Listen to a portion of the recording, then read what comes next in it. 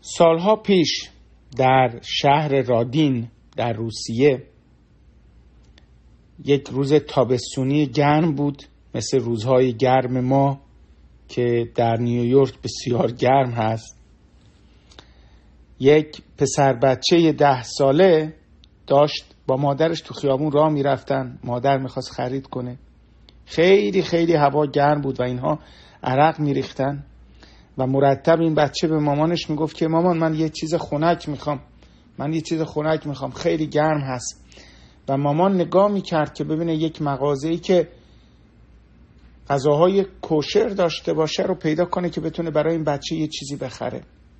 همونطور که داشتن تو خیابون راه می‌رفتن و عرق میریختن دیدن که یک دکه هست که بستنی میفروشه.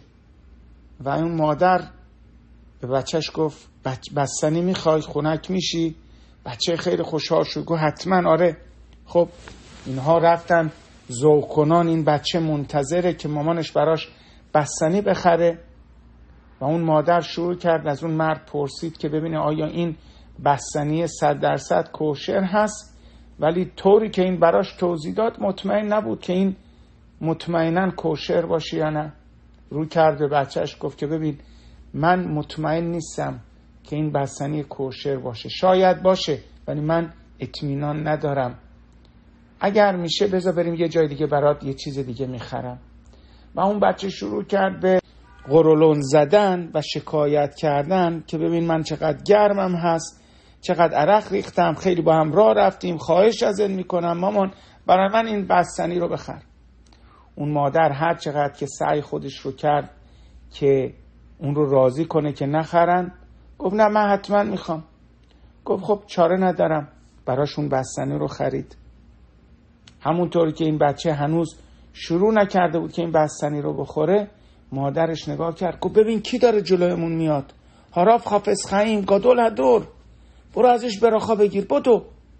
و این پسر با خوشحالی خیلی زیاد دوید طرف هاراف خافز خیم ایشون داشتن از اون طرف خیابون می اومدن و نگاه می‌کردن که این بچه داره میاد به طرف ایشون ایستادن باهاش اول پرسی کردن و اولین سوالی که هاراف خافز خیم پرسیدن گفتن که براخاش رو گفتی؟ این بستنی رو که میخوایی بخوری؟ گوهارا هنوز نخوردم می‌خواستم بخورم که شما رو دیدم.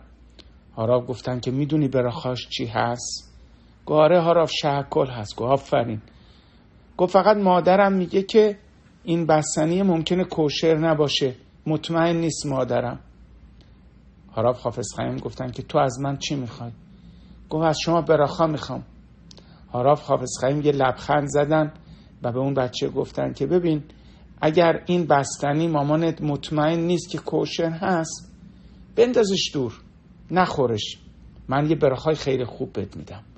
اون بچه حتی پلک نزد. گوهارا به من براخا میدن از همه چیز در دنیا برای من بالاتر هست. همون موقع بستنی رو که با این اشتیاق می‌خواست بخوره در اون گرما انداخت دور. هاراف حافظ خندیدن و بهش گفتن که تو نشمای خیلی بلندی داری. نشمای خیلی پاکی داری. بگو ببینم چه براخایی می‌خوای بهت بکنم. گوهاراف من رو براخا کنید که برم کشور اسرائیل. آفرین خیلی خوبه. ولی چرا اینقدر دوست داری بری کشور اسرائیل؟ گوهاراف ما در تورا می‌خونیم که مشه ربینو سعی خودش رو کرد هزاران بار تفیلا خوند که بره کشور اسرائیل و نرفت. مطمئنا کشور اسرائیل خیلی خوبه که مشه ربینو خواسته بره. اگه اگه نه اینقدر اصرار نمی‌کرد به هشم هاراف خیم دوباره لبخندی زدن گفتن آفرین. کشور اسرائیل خیلی خوبه. اگر بری اونجا در یشیوا در جای درست باشی و قدوشا و تهرا داشته باشی هیچ جا از اونجا بالاتر نیست. من براخاد می‌کنم که عمر زیاد داشته باشی طولانی عمر داشته باشی و حتما در کشور اسرائیل زندگی کنی. و اون بچه دست ایشون رو بوسید و اون آخرین باری بود که ایشون رو دید. جنگ جهانی اتفاق افتاد.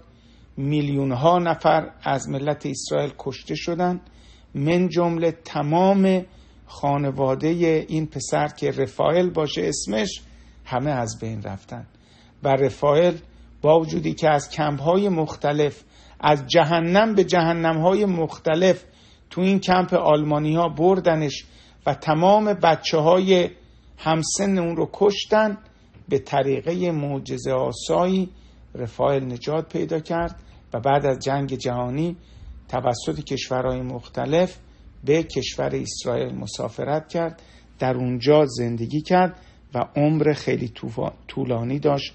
اسم ایشون بود هاراو رفایر والدشتاین که ایشون همونطور که گفتیم عمر طولانی داشتن و در کشور اسرائیل زندگی کردن و بچه های ایشون الان اونجا هستن با نوه هاشون می‌بینیم که گیواب کردن یعنی از دست دادن یک چیز خیلی کوچک مثل اون بستنی چه براخایی برای رفایل اومد که در تمام این سختی ها و مسائب و مشکلات زندگی به براخای حراف حافظ خیم بتونه از تمام این موارد نجات پیدا کنه به کشور اسرائیل برسه چیزی که می‌خواسته و بتونه اونجا زندگی کنه.